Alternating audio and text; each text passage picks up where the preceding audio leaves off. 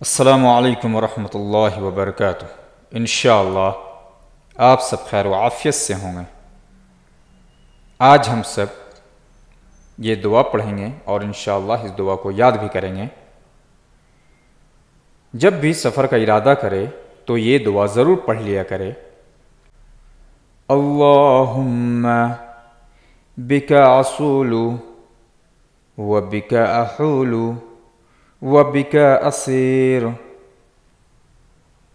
اللهم بك أصول وبك أحول وبك أصير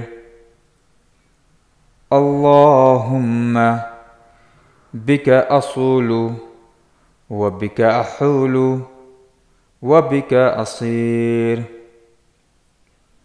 اللهم بك أصول وبك أحول وبك أصير اے اللہ میں تیرے ہی مدد سے حملہ کروں گا تیرے ہی مدد سے تدبیر کروں گا اور تیرے ہی مدد سے سفر کروں گا